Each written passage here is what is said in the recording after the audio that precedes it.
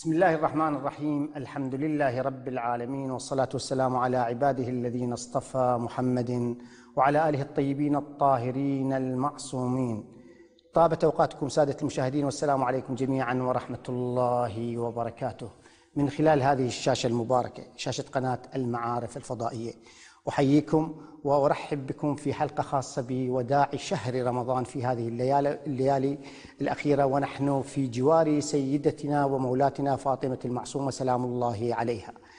ضيفنا لهذه الحلقة هو سماحة الشيخ حبيب الكاظمي الباحث الإسلامي والأستاذ في الحوزة العلمية. فحياكم الله وحيا سماحة الشيخ. حياكم الله وسلمكم إن شاء الله. أهلا ومرحبا بكم وتقبل الله أعمالكم. بارك الله فيكم إن شاء الله. سادة المشاهدين هذه الحلقة نحاول أن نخصصها في وداع شهر رمضان. نسأل الله أن يتقبل أعمالنا وطاعاتنا ونسأل الله أن يتقبل منكم جميعا.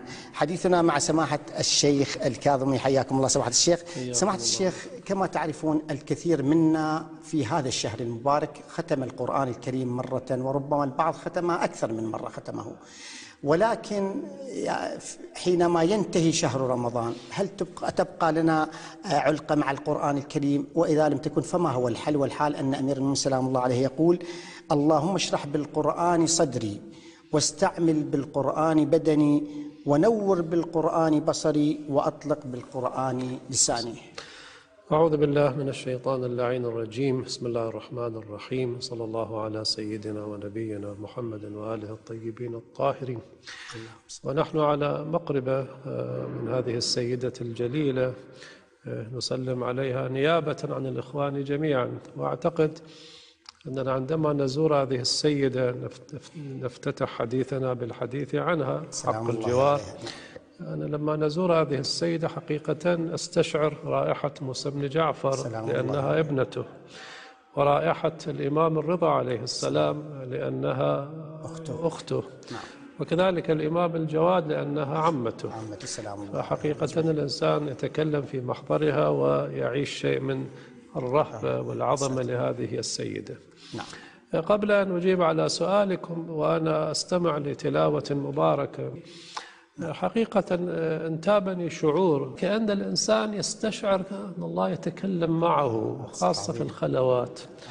وأنا أقول للإخوان إذا انتابكم هم غم قلق استعن بالقرآن الكريم. طبعا استعان بأهل البيت مجالسهم مراثيهم. أقول مع هذه المجالس لو أن أحدنا فتح القرآن الكريم تلاوة معطرة من سورة طه أول السورة إني أنا الله.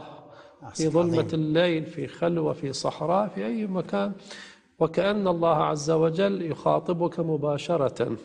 يعني كما ذكرتم الرواية أمير النبي أمير المؤمنين صلوات الله وسلامه عليه يجعل القرآن شارحا للصدر. نحن نقرأ القرآن للثواب والتلاوة المجردة حقيقة القرآن الكريم كما قال علي عليه السلام من موجبات الشرح الصدر من موجبات اطمئنان الباطن.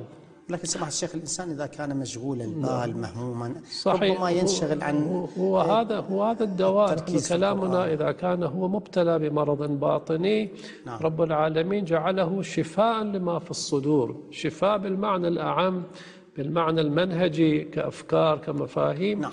والشفاء بمعنى قلق الباطن. على كل.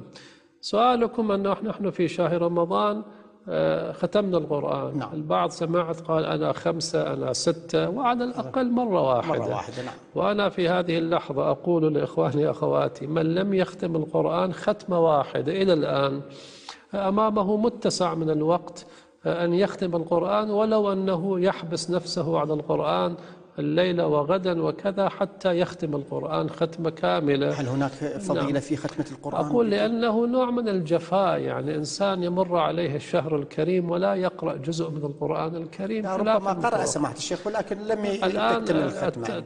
نعم. قرأ يعني مع عدم العذر في هذا المجال. نعم.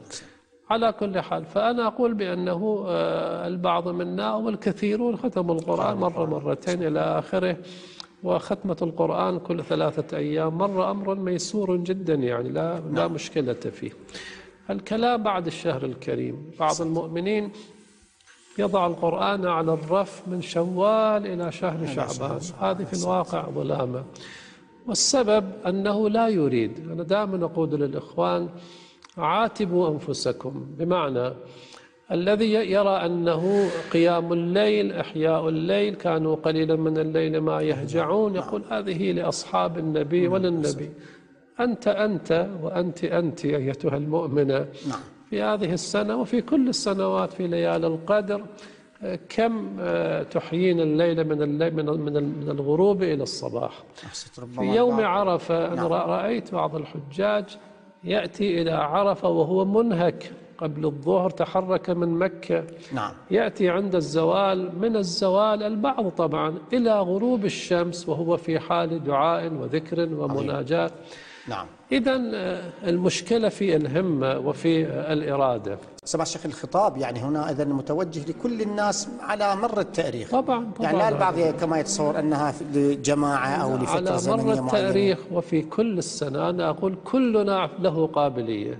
لأن يختم القرآن. همة لا تع... لا تأتي. هذه مشكلة البعض. البعض سمعت الشيخ يتبجح بمشاغل الحياة التي تزداد يوما على يوم. ربما كلما كلما ازداد العمر كلما كثرت مشاغل الإنسان وال- بالتالي يبتعد أو ينأى بنفسه عن القرآن وعن قليل بأنه اتفاقا أصحاب المشاكل نعم. أصحاب القلق أصحاب الاكتئاب أصحاب المشاكل الاجتماعية. هم هم أولى من غيرهم بالالتجاء إلى الله ورسوله. الإنسان المكتفي ماديا ماليا صحيا وإن كان كل بني كل إنسان في فترة من فترات حياته يبتلى.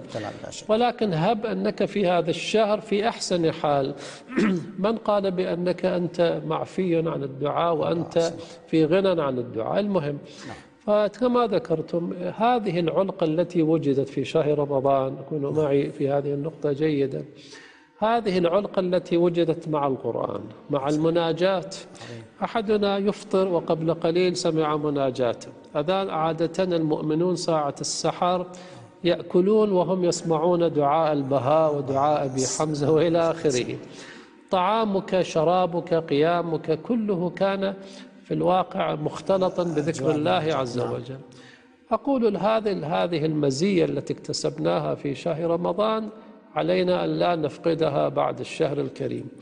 وهنا أحذر نفسي لعله يأتي في مطاوي الأسئلة آه، موضوع الشياطين المغلولة. أنا الآن يدي على قلبي أقول عن نفسي لا شغل لي بالآخرين. أنا أقول من الآن؟ الشيطان على الأبواب بمجرد أن ينتهي الشهر الكريم يعني مع أذان اليوم الأخير من شهر رمضان المبارك الشياطين تنتشر في الأرض وهي كانت مغلولة قبل هذا ذلك ما نقف عنده سمحت الشيخ. إيه، سمحت الشيخ أهل البيت سلام الله عليهم يعبرون عنهم بالقرآن الناطق وسيدهم علي عليه السلام. نأتي إلى الإمام السجاد سلام الله عليه صاحب أعظم المناجات أو المناجات المشهورة كما في حديث أبي حمزة الثمال دعاء أبي حمزة الثمالي وأدعية السحر تقريبا المناجات كلها منسوبه لعلي علي علي السجاد سلام الله عليه. يقول في إحدى مناجاته: اللهم فكما جعلت قلوبنا له حملة. وعرفتنا برحمتك شرفه وفضله. حملة ما معنى يكون القلب حاملا صلوات؟ الله عليه على إمامنا زين العابدين صلوات الله عليه تقريبا. شهر رمضان معجون أو عجين بذكر إمامنا زين العابدين من خلال مناجياته. نعم. آه الإمام يقول وجعلت قلوبنا له حملا هذا يذكرنا طبعا أحاديث أهل البيت كالقرآن الكريم. لا بد أن نضم بعضه إلى بعض. نعم. رحم الله صاحب تفسير الميزان ونحوه مدفون هنا. أسلوبه تفسير القرآن بالقرآن. نعم. علينا أن نطبق هذه النظرية حتى على روايات أهل البيت أن نفسر أحاديثهم بالحديث. الحديث نعم. أشراف أمتي أصحاب الليل وحملة القرآن. أصحاب النيل أصحاب الليل وحملة نعم. القرآن أشراف عظيم، أمتي. عظيم عظيم. زين الآن أهل الليل معروف أهل قيام. الليل ولكن حملة القرآن واستميح إخواني الحفاظ والقراء عذرا. من يحفظ القرآن بمجرد الحفظ والتلاوة الجميلة المجودة. على هذه الرواية إمامنا يجعل حمل القرآن محله الصدر لا اللسان. طبعا هذه مرحلة راقية الإنسان يتلو القرآن تلاوة جميلة ورب العالمين يودع القرآن في صدره. هذا صدر مقدس.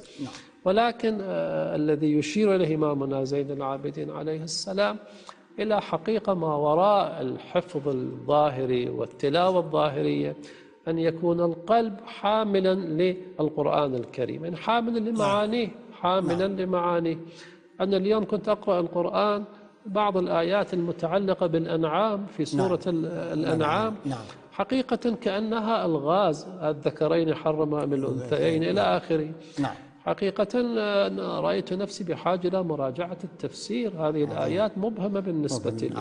نعم. فإذا من يريد أن يحمل القرآن الكريم لا بد أن يطلع على شيء من المعاني القرآنية. وهنا يعني الح- الح- الحفظ لوحده لا لا يجدي- يكفي. وا- واضح. الحفظ عبارة عن انتقال المنقوش إلى محفوظ في القلب. القلب، نعم، يعني كتاب مكتوب قرآن مكتوب إنسان يقرأه فينعكس في ذهنه. القرآن لابد أن يتغلغل إلى القلب أيضا يعني أنه يجب على الإنسان أن يعي معانيه أن يعي ولهذا ولهذا القارئ. القارئ المثالي آه، الذي يعني يراد أن يجعل قارئا مثاليا هو الذي مشاعره القلبية متناغمة مع الألفاظ الظاهرية. يقرأ أن شجر- شجرة الزقوم طعام الأثيم وكأنه قرأ آية أخرى حول الأمور أحكام الشرعية. على الإنسان أن يكون ملتفتا لهذه المعاني. إذا مر بآية فيها تخويف يسأل الله ال- الاستعاذة من النار. فيها تشويق يسأل الله ال- الجنة والرضوان وهكذا. فإذا أختم جوابي في هذه الفقرة. وهذا يرتبط أيضا بالجواب على السؤال الأول. نعم. القلب إذا وعى القرآن يعني إذا صار القلب حاملا للقرآن حينئذ يستذوق حلاوة القرآن. يقول بعض الصالحين بعضهم يقول أنا عندما أقرأ القرآن أرى كأنه طعم العسل في فمي عظيم هذا الذي الذي يقرأ القرآن بهذه بهذا بهذه الكيفية طبيعي لا يفترق عن القرآن أبدا إذا يجب عليه أن ي... كما يحمل القرآن يحمل معانيه ويحمل مفاهيمه حتى يستطيع أن ي- يجمع بين الحسنيين. سماحة الشيخ ذكرتم قبل هذا السؤال قضية الشياطين، أن الشياطين في شهر رمضان كما هو المعروف أنها تغل. وفيه حسب آه، الخطبة الرسول صلى الله عليه وآله الشياطين فيه مغلولة. ولكن بعد شهر رمضان ذكرتم أنها تطلق الشياطين. وعندنا قول للإمام السجاد سلام الله عليه يقول آه، اللهم صل على محمد وآله واجعل القرآن لنا في ظلم الليل مؤنسا ومن نزغات الشياطين وخطرات الوساوس حارسا. ولأقدامنا عن نقلها إلى المعاصي حابسا. فكيف يكون ذلك سماحة الشيخ؟ نعم ذكرتم الشيطان حقيقة كما قلت قبل قليل. آه، الإنسان يعني يخشى من هذا الانتقام المروع. مرة تدخل حية في المنزل وتقتلها تنتهي القصة. تنتهي نعم. ومرة تجرحها جرحا. ثم هذا الحيوان هذا هذه هذا الثعبان ينقض عليك. ماذا يصنع بك؟ الشياطين المغلولة. طبعا ليس معنى ذلك أن الشيطان لا يعمل لا, لا يكون له دور أبدا. الإشارة من بعيد. الشيطان قبل شهر رمضان برمج البعض. رأيتم الحاسوب نعم. المبرمج؟ نعم. الشيطان برمج البعض قبل شهر رمضان المبارك. آه، ولهذا بعد أثناء الشهر الكريم هو لا يحتاج إلى جهد جهيد نعم. الآن ماذا نصنع لكي نبقي هذه هذه الحصانة؟ نعم. أولا نفس الصيام إن شاء الله بعض المؤمن أنا ما لا أدري هل يمكن هذا المعنى الالتزام به. الصيام صيام اليومين الخميس والاثنين أو صيام الدهر المروي في الروايات نعم. آه، ثلاثة أيام في آه، كل الشهر. نعم. آه، يعني آه، خميسين وأربعاء. إذا أمكن الصيام بهذا المعنى. ثم هذا يقي الإنسان سماحة الشيخ نعم كما يقي شهر صيام رمضان. الدهر نعم لا يغني عن القضاء. أعني أن له أثر صيام شهر رمضان الإنسان يذكر نفسه بالصيام بين وقت وآخر. نعم.